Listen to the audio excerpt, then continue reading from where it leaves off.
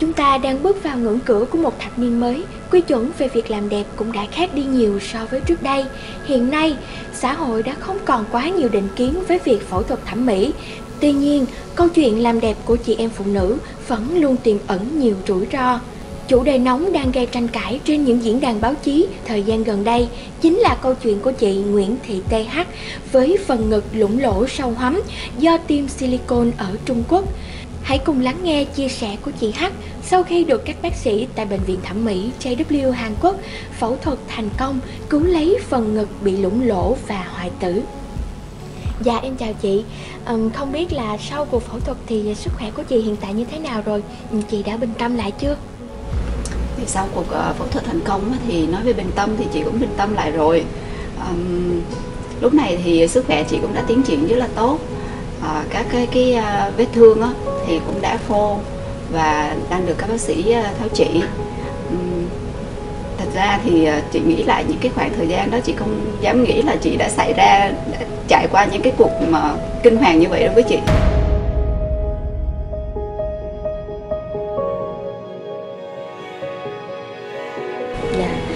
Thì chị có thể chia sẻ chi tiết hơn về câu chuyện của mình được không? Thì cách đây khoảng 20 năm thì lúc đó là chị à, khoảng 20 tuổi. Thì hồi xưa chị hay bị mấy bạn bè trêu là chị bị lép cho nên là chị sẽ quyết định là đi phẫu thuật thẩm mỹ. Thì à, lúc xưa thì à, Việt Nam mình không có nhiều cái công nghệ hiện đại như bây giờ và cũng không có nhiều bệnh viện thẩm mỹ như bây giờ. Um, thì chị được uh, họ hàng ở bên Trung Quốc á chị cho chị là qua bên đó để bơm silicone thì lúc đó người ta nói với chị là bơm mỡ vô trong người thôi chị thật ra chị cũng không hiểu là bơm silicone là cái gì nữa. Thì à, với lại là lúc đó chị cũng kiến thức cứ còn không có. À, thêm nữa là trẻ người non già thiếu kiến thức nên là một thân một mình chị qua đó chị làm luôn. Dạ. ừ. sau khi mà chị quyết định sang Trung Quốc để mình làm phẫu thuật thẩm mỹ thì không biết rằng là chị có lo lắng nhiều hay không? Lo chứ em nhưng mà chị nghĩ là sau khi mình làm đẹp thì mình sẽ được đẹp nè uh, sẽ được tự tin nhiều hơn. Nên là chị chấp nhận rủi ro chị qua bên đó chị làm. Thì sau một uh, thời gian chị tiêm thì chị cảm thấy vẫn chưa có hài lòng. Um, À vậy có nghĩa là chị đã sang Trung Quốc tận hai lần để mình quyết định là mình thực hiện phẫu thuật thẩm mỹ. Vậy thì không biết là khi nào thì ngực của chị bắt đầu xuất hiện những cái biến chứng hả chị ha?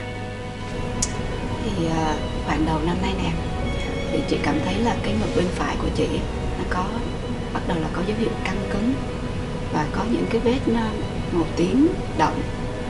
À, dần dần nó chuyển sang màu sẫm.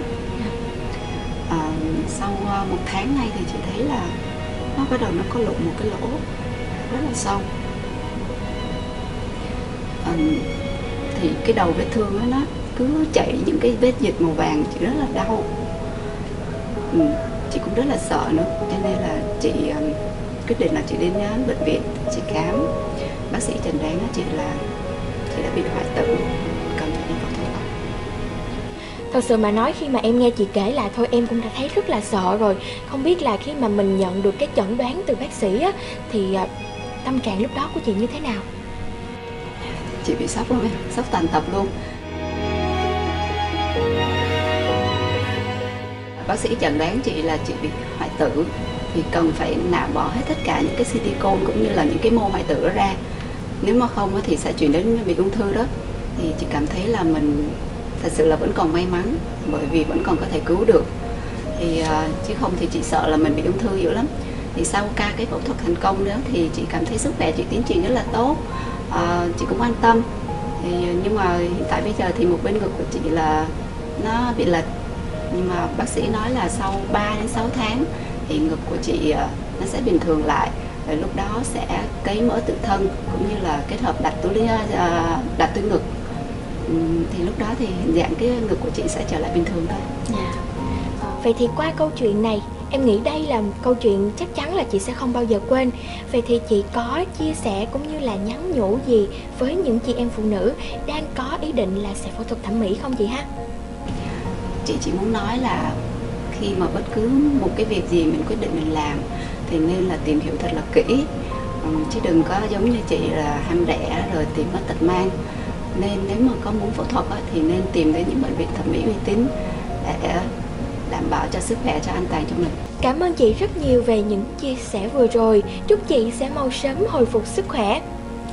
Chị em phụ nữ thân mến, hy vọng rằng đây là bài học dành cho tất cả chúng ta, nhất là những người phụ nữ trẻ. Khi quyết định tiêm một chất gì đó vào cơ thể, chúng ta nên tìm hiểu kỹ để tránh những rủi ro về sau.